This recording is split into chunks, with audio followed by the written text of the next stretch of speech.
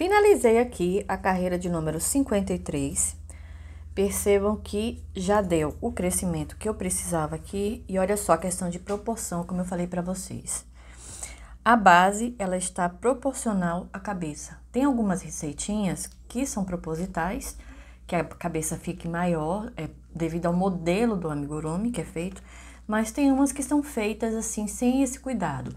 Então, às vezes você bota uma cabeça muito grande e aí a base fica desproporcional. E assim, como a gente está trabalhando com a Nossa Senhora Aparecida, né, um projeto do santuário, a gente tem que dedicar o que for de melhor, né, para ela. Então aqui a gente tem a a base quase pronta, na verdade, corpo e cabeça. Vamos agora fazer a carreirinha de número 54, onde eu começo a fechar aqui a cabeça. Ainda não coloquei a fibra, porque eu vou bordar a, antes de fechar essa cabeça, então antes de encher, na verdade. Então aqui eu vou fazer o quê? Eu vou começar as minhas diminuições. Então eu vou fazer cinco pontos baixos, um, vou marcar aqui, primeiro ponto.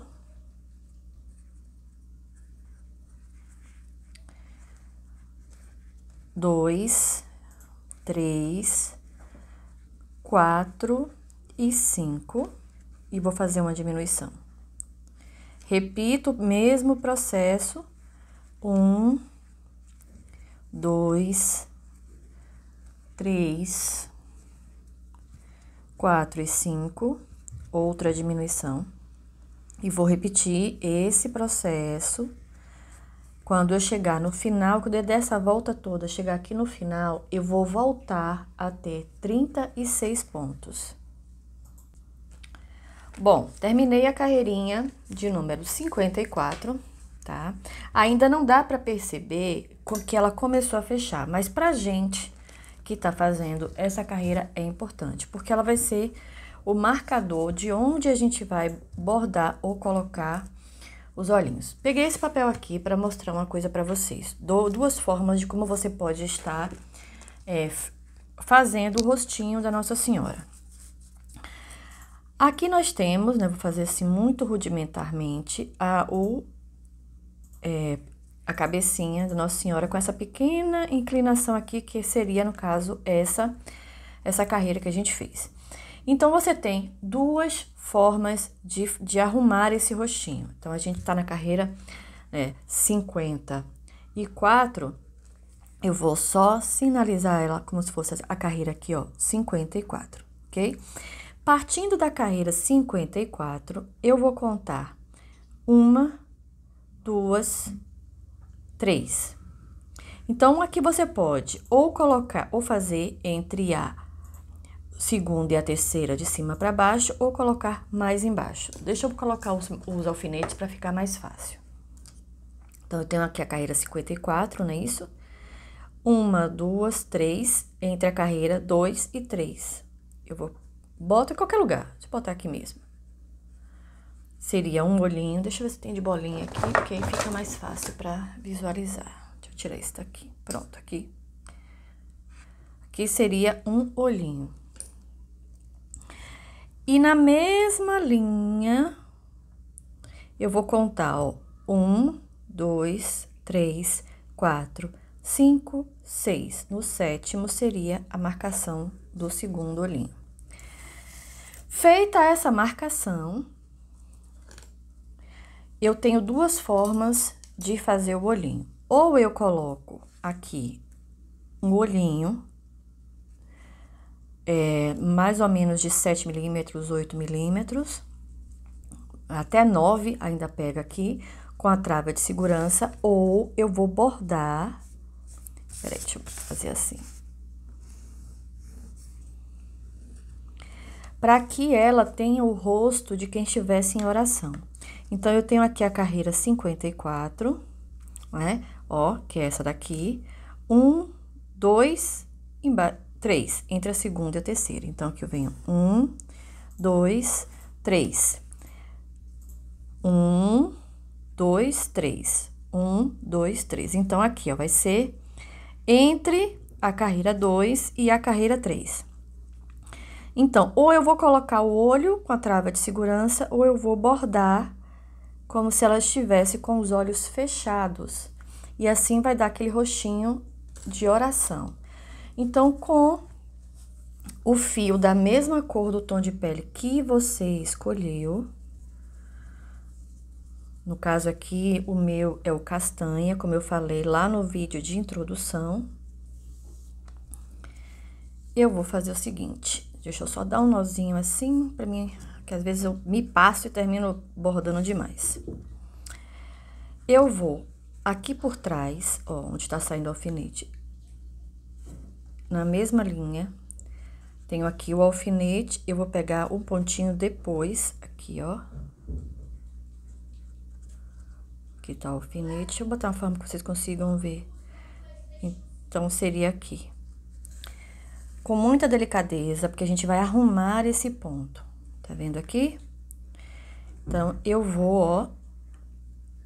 Ai, gente, eu fiz errado. Volta aqui. Peguei demais. Então, deixa eu refazer aqui.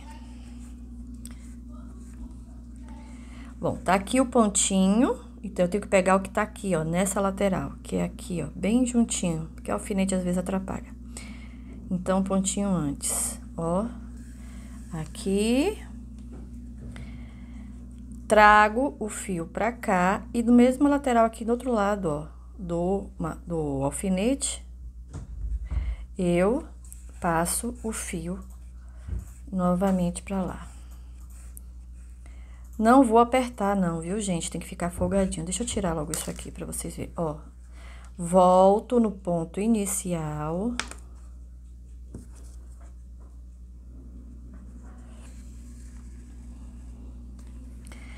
Trago por baixo assim. Passo de novo.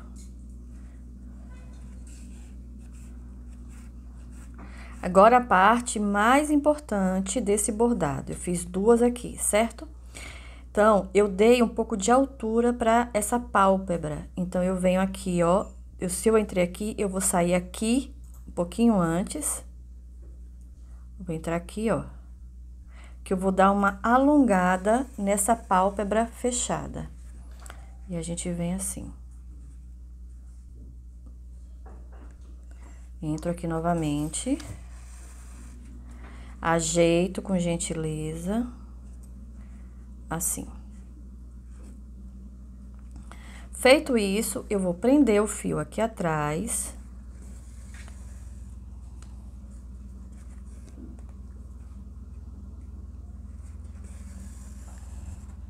Por que que eu tô prendendo? Para poder não puxar o fio quando eu fizer o de cá. Então, venho aqui, ó, do lado do olhinho, da mesma forma que eu fiz de cá, eu venho pra cá.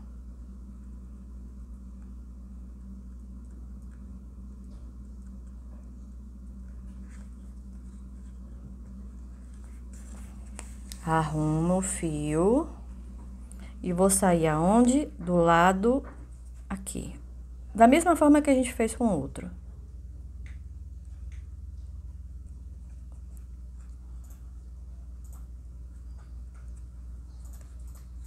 Tirar aqui.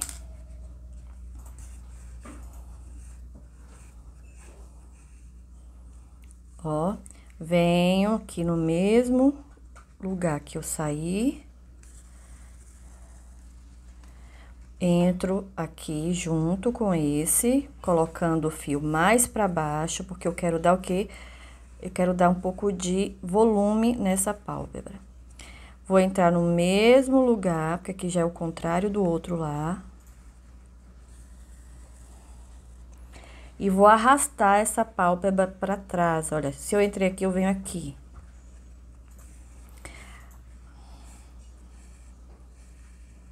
Então, não dá pra gente fazer isso com a cabeça cheia de fibra. Aqui, por si só, já começa a dar a sensação de olhinho fechado. Vou prender esse fio aqui atrás, como eu fiz com o outro. É importante essa etapa, não dá para pular essa etapa de prender o fio, senão esse bordado que a gente está fazendo não dá certo. Pronto.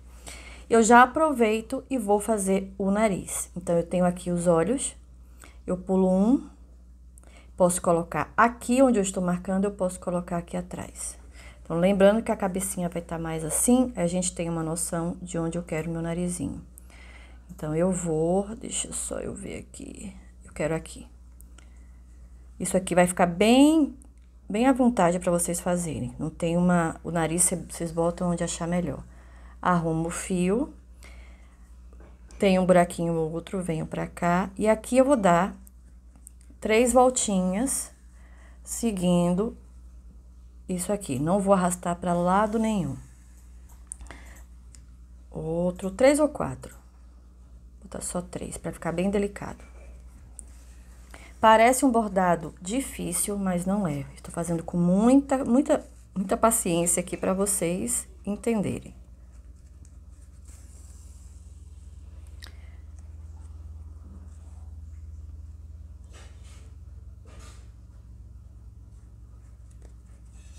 Dou um nozinho aqui atrás e agora sim eu vou arrematar esse fio da cor da pele. Acabou aqui? Não, não acabou aqui. Agora a gente vai dar realidade, vai deixar esses olhos mais realistas. Se você quiser deixar assim, pode também, mas eu gosto de ir além. Então eu vou vir com aquele nosso fio Anne preto que a gente no início do curso falou que precisa fiozinho fino, pode ser de meada, pode ser o fio dividido, preciso de um fio assim, fino. Dou esse nozinho aqui, venho aqui atrás, onde começa esse olho, tá vendo essa baguncinha organizada aqui atrás? Vou prender, porque ele, como é um fio fino, mesmo com esse nozinho aqui, ele pode passar pela trama. Então, eu venho aqui, ó, beleza, prendi. Vou entrar no mesmo lugar dos outros fios aqui, certo? Prestem atenção, fazendo bem devagar. E aí, eu vou trazer esse fio para baixo dessa linha mais alongada. Vou entrar no mesmo lugar dela.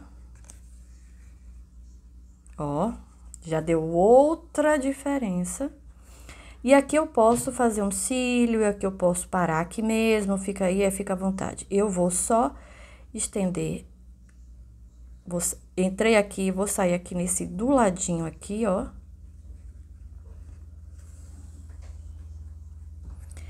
Entro aqui novamente para finalizar essa pálpebra. Isso vai dar uma alongadinha. Conseguem perceber aqui? Uma, uma coisa bem discreta? Pronto. Fiz isso daqui, o que, é que eu faço agora? Prendo novamente o fio aqui atrás. Esse processo de prender é obrigatório nesse tipo de bordado. Não dá para pular se você quiser qualidade na, na peça. Vou fazer o quê? Vou entrar aqui. Ó. Vou acompanhar o fio alongado, que vou chamar de fio alongado até aqui, ó. Que é como se eu estivesse pegando um lápis preto e delineando isso. Tá? Venho aqui do lado.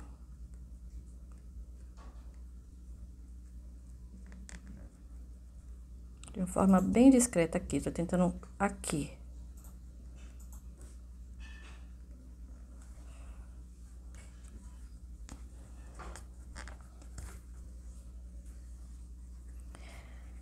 e volto.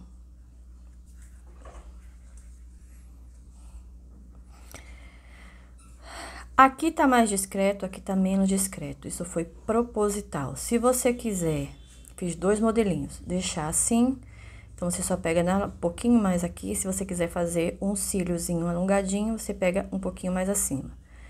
E eu vou só terminar esse, esse cílio aqui pegando no ponto de baixo, tá vendo? Aí você pode escolher. E eu vou, vou fazer a mesma coisa do outro lado para ficar igual, para não ter que desmanchar tudo isso que eu acabei de fazer. Passar para lá é importante prender o fio em qualquer alcinha, porque esse bordado ele é muito delicado, mas ele tem que ficar firme atrás. Pronto. Ó, como é que eu faço? Se eu venho, só seguir esse rascunho daqui. Tem um, olha, um Vzinho aqui, eu tenho um Vzinho aqui. Então, eu venho cá, ó.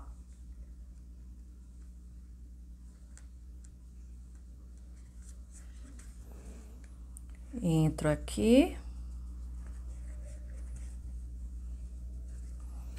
Tá aqui embaixo dessa mesma linha do Vzinho, aqui embaixo, ó.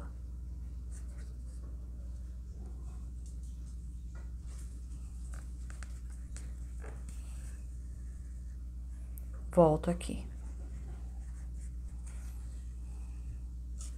Pronto. E o que que eu vou fazer com esse fio? Eu vou dar dois nozinhos aqui. E eu vou mostrar uma coisa pra vocês. Então, eu vou dar, arrematar duas vezes, dando nozinho aqui. Um. E dois. Cortar esse fio ou pode enfiar tudo pra dentro não tem problema. E olha só, eu tenho meu rostinho de Nossa Senhora como se estivesse em posição de oração. Se você não gostou do narizinho, você arruma ele, tem problema não. Agora, o que eu quero mostrar pra vocês aqui. Dentro fica essa bagunça. Percebam que os fios que passam entre as tramas, ele tá, ele tá junto, mas não tá apertado e não tá folgado.